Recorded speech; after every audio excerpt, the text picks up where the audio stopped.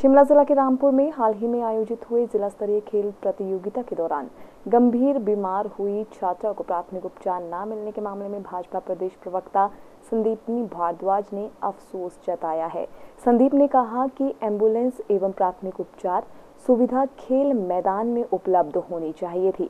उन्होंने कहा कि स्वास्थ्य एवं शिक्षा के क्षेत्र में लापरवाहियाँ सामने आने से यह स्पष्ट होता है कि मुख्यमंत्री व्यवस्था बदलने की जो बात कर रहे हैं लेकिन वे अव्यवस्थाओं को ला रहे हैं। बड़ी असंवेदनशील सरकार है। एक मंत्री मंच पर बैठ करके भाषणबाजी कर रहा है और वहाँ कोई बच्चा बेहोश हो जाता है और उसको जब हॉस्पिटल ले जाने की बारी आती है तो सरकार के पास एंबुलेंस उपलब्ध नहीं है। उसको कंधे पे कभी आयुर्वेदा हॉस्पिटल उठाया जा रहा है, कभी पीठ में उसको किसी दूसरी जगह ले जाया जा रहा है। अल्टीमेटली उसको प्राइवेट कार में और लोगों ने अपनी पीठ में उठा करके खनेरी हॉस्पिटल पहुँचाया।